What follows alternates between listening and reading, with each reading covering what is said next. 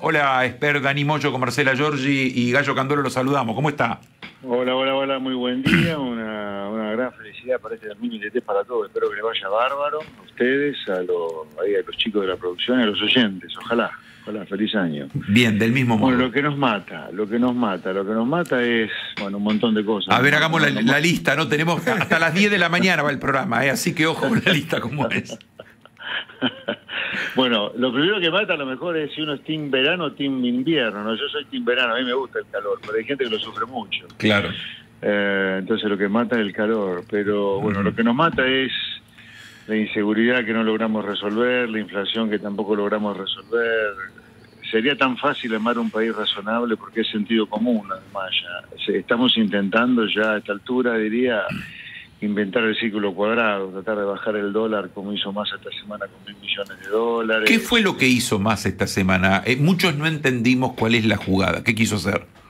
Bueno, me sumo, me sumo a los que no entienden lo que quiso hacer. Ah, pero si usted no entiende lo que quiso estamos hacer, liquidados, estamos liquidados, claro.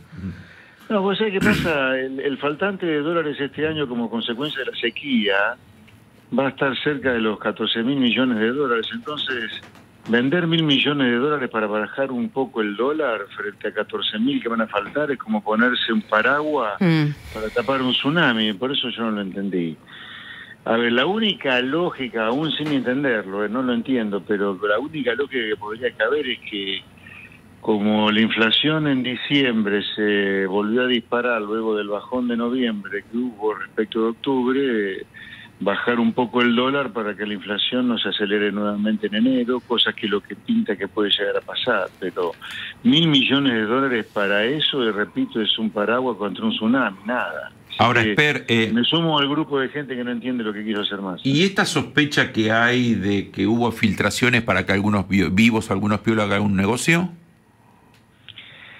Sí, bueno, esto está, esto ocurre siempre que ocurren cosas como las que se hicieron esta semana. Cada vez que hay alguna operación de este tipo, ya hubo antes, otras en otros gobiernos, siempre hay esta, este- esta sospecha porque fue muy raro todo lo que pasó. Me parece muy bien que se investigue lo que pasó. Es raro, es raro, es raro. Ahora, en Estados Unidos, en un país civilizado, esto termina con gente presa directamente o que no puede operar nunca más. ¿no? Lo decíamos esta mañana cinco y media en la producción con Gallo Candolo, ¿no? Gente presa que no puede operar, que si tiene algún cargo político no puede Pero, reaparecer. Eh, digo, eh, para ser realistas, ¿no? Para ser realistas. Yo creo que, a ver, una cosa es el deber ser, lo que debería ocurrir acá, que haya una investigación y que haya gente presa o gente que nunca pueda ocupar más la función pública. Ahora, estamos en Argentina. En Argentina tenemos como vicepresidenta todavía una mujer que firmó un memorándum de entendimiento con Irán para ocultar los responsables de un acto genocida como fue la voladura de la AMIA, ¿no? O sea, acá pasan cosas muy raras. Sí, es cierto, ¿no? Acá podés este, fundir un banco y caminar por la calle sin ningún tipo de problema, podés... Este, Repito, acá ni por vergüenza esa misma vicepresidenta renuncia después que ha sido condenada por chorra, al menos en primera instancia, ¿no? O sea, tenemos un presidente que se ha fumado varios juicios políticos. Uno eh, lo presentó en mi espacio, eh, luego de una cuarentena criminal como la que hizo. Ustedes recuerdan cuando decidieron privilegiar la vacuna, perdón, decidieron privilegiar la relación de- con Rusia y China en lugar de salir de cabeza a buscar la Pfizer para vacunar a Argentina para que no se murieran de COVID, ¿no? Sí, claro. Y Eh, cuando nos o sea- encerraba y nos decía que no iba a perseguir a todos este, y que iba con el dedo marcando a aplicar todas las leyes y él estaba en una fiesta de cumpleaños con más de 10 personas en su casa, ¿no? Exactamente, ese señor sigue siendo vice- eh, presidente todavía. Entonces, acá tenemos, eh, por ejemplo, gente que ha iniciado un juicio contra la Corte Suprema de Justicia simplemente por la Corte Suprema de Justicia emitió un fallo. Un delirio. O sea, es esa Argentina delirante. En esa Argentina delirante hay alguien que quiere vender mil millones de dólares para bajar el dólar, pues el problema de la falta de dólares este año va a ser por lo menos 10 veces esa. Y bueno, ocurren cosas raras acá. Eh, el martes llega, entre otros, Maduro. ¿Lo va a ir a recibir? ¿Lo va a ir a agasajar usted? No, yo ojalá que termine preso Maduro apenas pise sobre Argentina, porque tiene captura internacional. Ahí nosotros también de nuestro espacio político manifestamos nuestro absoluto repudio, hicimos una propuesta de declaración de la Cámara de Diputados que repudie la presencia de estos tres eh, dictadores asesinos, además como Maduro, Díaz Canel Y bueno, Ortega creo que no viene, ¿no? Pero Díaz Canel y Maduro sí, dictadores, asesinos en una Argentina democrática, con la sangre que le costó a Argentina en los 40 años de democracia que tiene. Así que. Coincide con Patricia Bullrich usted entonces, que tiene que terminar preso Maduro, ni bien pisa.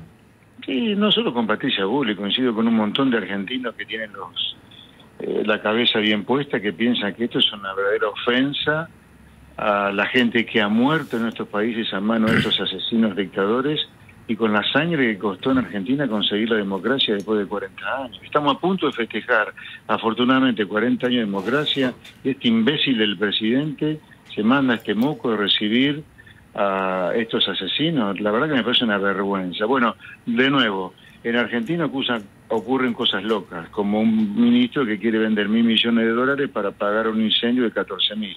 Este país está chiflado. Afortunadamente, tenemos elecciones este año y la gente va a poder votar a gente diez veces más razonable de lo que tenemos. Gente que propone cosas para solucionar los problemas que tiene Argentina y que propone cosas que lo que hacen los países en los cuales la gente vive bien, nada del otro mundo. Hay una esperanza, pero hay que votar otra cosa, hay que salirse de ahí. Hay que salirse de lugares comunes. Eh, otra cosa y gente que tiene más capacidad que usted está diciendo en su oración, ¿quiénes son a nivel nacional? A nivel provincia imaginamos que es usted. Eh, usted va a ser candidato a gobernador, ¿no? Yo voy a ser candidato a gobernador. Hemos propuesto y vamos a seguir proponiendo una reforma profundísima de la provincia de Buenos Aires a favor de los bonaerenses. Lo primero que tenemos que tener claro, en Argentina en general, pero en la provincia en particular, que no podemos sostener un pueblo digno, trabajador, emprendedor, que esté sometido por mafias. Nosotros tenemos que terminar con esta Argentina mafiosa. No puede ser que tengamos mafias en la provincia de Buenos Aires manejando la educación como Baradel, mafias como Aten hasta Isidro Río Santiago, la mafia de Moyano que no deja llenar de vías férreas a la Argentina siendo el octavo país en dimensión territorial, las mafias que manejan los puertos, puertos algunos tomados por la droga directamente. Acá hay que terminar con las mafias en primer lugar. Entonces, la declaración nuestra, la primera declaración nuestra fuerte es nosotros vamos a ir contra las mafias para que la gente deje de vivir con miedo. Segundo, vamos a ir contra la inseguridad porque no puede ser que la gente también, además de las mafias, viva muerta de miedo por los delincuentes que se pavonean por la calle dando vueltas mientras que la gente está encerrada tras las rejas. Eso requiere infinidad de reformas. Primero, pagarle como la gente a la policía bonaerense, darle chaleco que no estén vencidos, darle patrulleros que no se caigan a pedazos, darle comisaría que no sean letrinas como hoy y darle un espaldarazo político al policía que usa su arma reglamentaria contra un delincuente en defensa de los inocentes. Luego tenemos que ir a una gran reforma de las autonomías municipales. Tenemos que tener municipios que sean absolutamente autónomos, que recaben sus impuestos y basta de tasas municipales. Hay que reducir el Estado para bajar impuestos. La gente no da más de pagar impuestos en la provincia de Buenos Aires. Esa es nuestra propuesta de reforma para la provincia. Usted me preguntaba con quién voy a ir como candidato a presidente. No lo sé todavía, no lo sé todavía. Iré con aquel que sea un garante de las reformas que nosotros tenemos pensado para los bonaerenses en la provincia de Buenos Aires. ¿Del oficialismo uno cree que con ninguno? No hay ninguno No, con el oficialismo no, es un conjunto chiflado. escúcheme, están recibiendo como si fueran héroes a asesinos, dictadores. Entonces, a ver, permíteme eh, que le haga este ping-pong. ¿Iría con Horacio Rodríguez Larreta?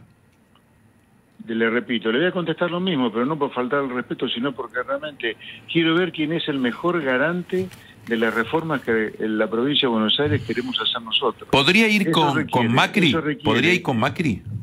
A ver, voy a ir con cualquiera o no que nos asegure las reformas que Argentina necesita para que las reformas en la provincia sean viables. A ver, por ejemplo, una persona que no cree en el libre comercio, que no cree que Argentina tiene que comerciar con el mundo y que acá deje de costar una bombacha como si fuera un BMW, a mí no me interesa ir con eso.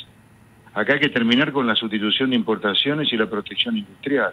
No puede ser uno que para comprarse una prendita de morondanga tenga que pagar lo que cuesta un auto por poco. No puede ser que en Argentina se fabriquen los autos más caros y más pedorros del mundo. Eso no puede ser tampoco. Es cierto. ¿Con mi ley iría, eh, Esper? Le repito, vamos a ver qué cuáles son las propuestas de reforma, porque gritar casta, gritar eh, paloma, gritar halcón es fácil eso, degradar al tercero es fácil. Ahora, ¿qué cosas concretas se van a hacer en Argentina? Eso es lo que la Argentina necesita. A los argentinos, los políticos, lo tenemos recontrapodrido porque no solo nunca hacemos nada, yo me incluyo, pero hace un año que soy político con 60 años que tengo, ¿no? Pero bueno, hace un año que soy diputado nacional, tengo que hablar en plural, pero no puede ser que la política no piense en los problemas de la gente y vive pensando en los problemas de la política. Por ejemplo, el presidente ha convocado ahora sesiones extraordinarias. 32 proyectos de leyes para sancionar en 36 días. No hay uno que tenga que ver con los problemas reales de la gente. Es cierto Por ejemplo, eso. ley, de- ley de alquileres. Lo decíamos en la editorial de las 6 de la mañana, ¿no? Eh, exactamente eso, ¿no? Eh, mire, y sin saber que usted iba a ir por ese lado, es decir, se tratan temas que mi tía Dora no entiende nada ni es el común del problema que tiene ella, ¿no? Por eso, acá hay que tratar problemas que tenga la política.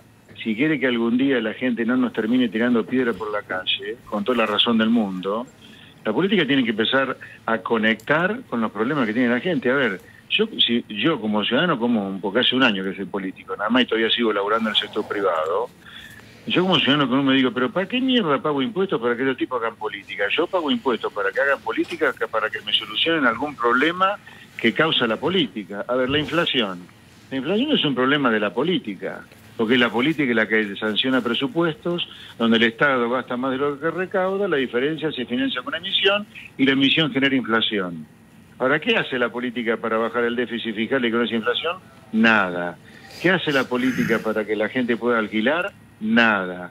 ¿Qué hace la política para que haya más productos en los supermercados, más oferta? Nada, no, controla precios, ley de góndola, ¿entiende? Lo permite a Ujú. Moyano que corte los centros de distribución de los supermercados, anda libre cuando debería estar preso solamente por eso. Estamos, estamos a un minuto de llegar al Mitre Informa. Primero le quiero hacer dos preguntas Sí. puntuales. Eh, ¿Está molesto con que Dualde presida el peronismo? Pero sí, pero que Du- Dualde se ha hecho demasiado daño. Fundió a la provincia de Buenos Aires cuando fue gobernador. Fue copartícipe de los hechos el golpe que hubo contra De la Rúa. Lo puso, no, no, no, nos trajo a Néstor Kirchner, que ha sido lo peor el kirchnerismo que le pasó a la Argentina en su historia. Por favor, que se dedique a cuidar a los nietos, ya que se jubile. Ya le hizo demasiado daño a la Argentina. Eh, la última, desliza, pone en tapa, perfil de hoy, en tapa, entre otros títulos, pone Macri deslizó alianza con Milei en la provincia de Buenos Aires. ¿Qué le parece eso? Eh, me parece a, a competir, que la gente elija el mejor. Yo compito contra todos en la provincia de Buenos Aires. Contra Macri, contra Milei o con cualquiera de sus candidatos. Viva la competencia. Bien, la semana pasada Milei nos dijo, le pregunto porque son cosas que fue diciendo usted y siempre es interesante la repregunta, que bajar la inflación es fácil. ¿Es fácil? No, de ninguna manera es fácil. Si fuera fácil, la Argentina ya hubiera sacado esta lacra que genera pobres todos los días hace rato. La inflación es difícil de bajar. ¿Por qué? ¿Pero por qué es difícil de bajar? Porque a los argentinos nos cuesta entender que hay una ley de gravedad en materia económica, en materia inflacionaria.